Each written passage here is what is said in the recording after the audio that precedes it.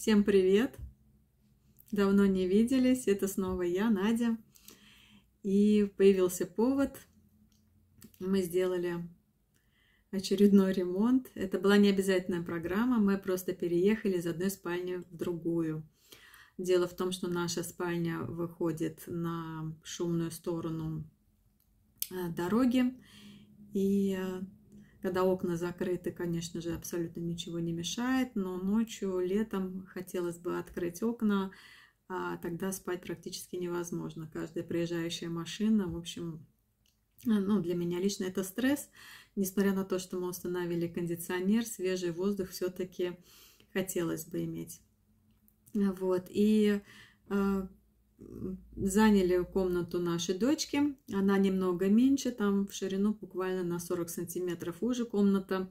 Но это уже не позволяет поставить туда нормальные шкафы, наши шифонеры перенести. Поэтому они остались в старой спальне, на своем старом месте. И у нас получается гардеробная комната с кондиционером.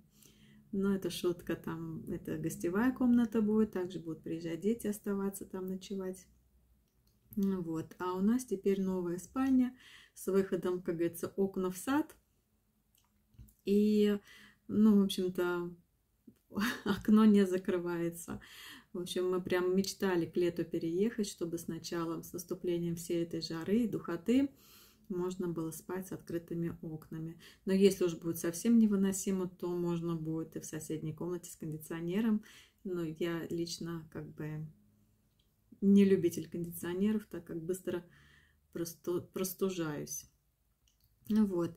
Но не буду отвлекать вас болтовней. В общем, небольшое видео, как это было, как это стало. А, кстати, короткое видео я уже выкладывала, и там даже появился один комментарий, что было лучше, чем стало. Но каждый имеет право на свое мнение. Хотя я так не считаю, комната получилась светлой и уютной. Ладненько, все, теперь, теперь уже точно я с вами прощаюсь. Пока-пока и до новых встреч!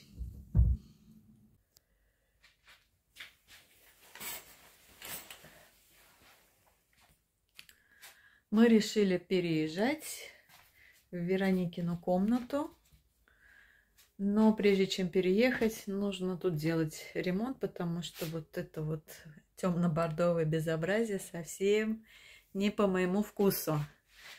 Да, Вероника выбрала самую лучшую комнату и не жила с нами. А теперь мы решили сделать из этой комнаты нашу спальню. И я сейчас тут уже разобрала шифонеры. Ну, в общем, осталось только все вынести. И будем перекрашивать. Перекрашивать и клеить обои, потому что я люблю, когда в спальне обои. Ну вот, вот так это было. Все, теперь будем смотреть, как это будет. Второй день ремонта. Вот потолок скос я уже на два раза покрасила, побелила. А, просохнет, завтра посмотрю, может быть еще разочек надо будет. Все, стены все перекрашивать мы не будем, потому что обои плотные и не пропускает этот цвет, я уже проверила. Так что Оставим как есть. Так, с освещением надо что-то решать. Очень тусклая лампочка. Вообще ни о чем.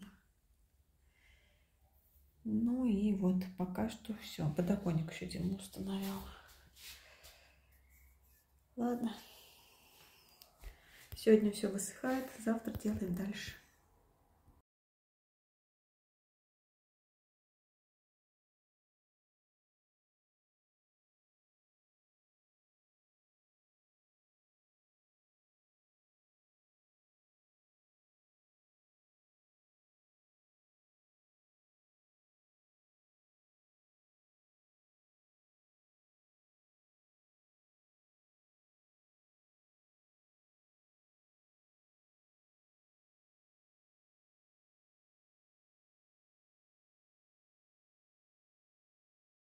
Та-да-да-да! Мы переехали в новую спальню. Так, обживаемся потихонечку. Осталось, конечно, кое-что по мелочам. Докупить полочки, зеркало. Хочу новые занавески купить, потому что эти как-то не очень подходят. То, что я нашла в шкафу, Так что надо будет подобрать что-то именно подходящее под комнату. Это там еще шифонер и мешок с вещами на выброс, так сказать.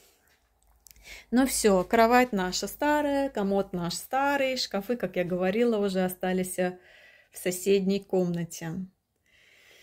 Ну, а мы, мы теперь спим со свежим воздухом. Кстати, лампу тоже заменили, купили, ну, такую вот обычную, недорогую, но она с пультом меняет степень освещения, теплый, холодный свет. В общем, очень теперь все удобно и уютно. Э, у нас нету прикроватных лампочек, потому что у нас свет встроенный прям в тумбы.